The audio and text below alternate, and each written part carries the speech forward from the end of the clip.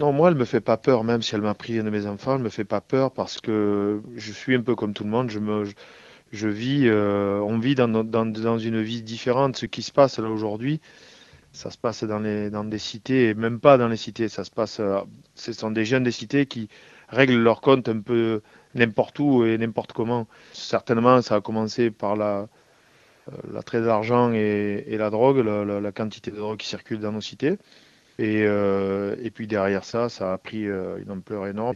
Mais la vie à Marseille continue à se faire euh, presque normalement, c'est ça qui est terrible. C'est, que oui, pendant 48 heures, tout le monde voit ce qui s'est passé et tout le monde est, choqué. Mais après, la, vie suit son cours, ça repart et on passe à autre chose.